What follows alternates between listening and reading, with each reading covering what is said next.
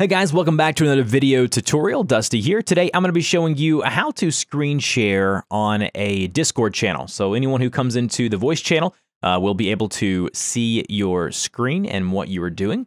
Uh, you can do this via a group message very simply, but I'm going to show you how to do it and set it up on a server itself. So First thing you need to do is log in the Discord, obviously, and you are going to need to get a couple of things from your Discord channel and your uh, server ID. So what we're going to need to do is go here and you can see I'm going to need my server ID, which is the Discord server, and then channel ID is going to be the actual voice channel. So in order to get these things, let's hop back on over to Discord.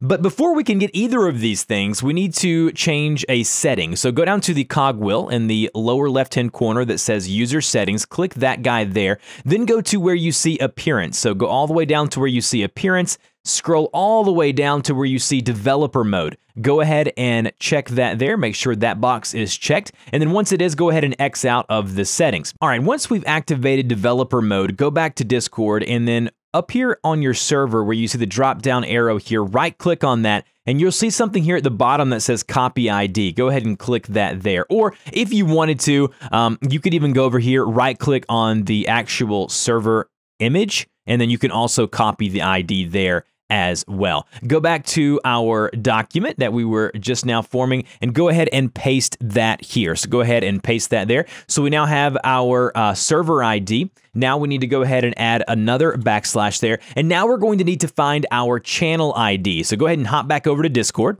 Now, the channel ID is going to be the actual voice channel. Now, this is not going to work in an, a text channel. This isn't going to work if you paste this link in a browser. It's only going to work in the specified voice channel that you are copying the actual ID for. Go ahead and right click on that, go to copy ID, just like we did for the server, hop back over to our document and paste that here. All right, now I have the discordapp.com slash channel slash server ID slash channel ID. I want to copy that entire link. So go ahead and go there, select all of that, right click or command or control C, copy that entire link and bounce back over to Discord. Now, in order for this to work, you need to be a part of the actual voice channel. So select and, and be a part of the voice channel here. Go to the area where you can type a message at the very bottom, like you're just typing something in the, in the channel, and then go ahead and, and paste that link that we created. Now, if we do that, this is going to come up and you're going to see the link available to you here. Click that link. Now, once the process has started, you're going to see the option at the bottom of the screen. And if you hover over the monitor with the arrow there, it's going to say turn on screen share. If we do that, we're now going to be presented with a couple of different options. You can see here, I can change my stream quality, I can change my frame rate, I can even go and select only a specific application to share if that's what I wanted to do. Now, a few of these options may only be available to Nitro members, but you'll be able to screen share just the same even if you're not. And then once you're ready to go, go ahead and click share just like that. And now as you can see, I am sharing my screen, and you'll have all of the normal options where you can go and mute your microphone, turn your video camera on if you have one, go to user settings and change those things here.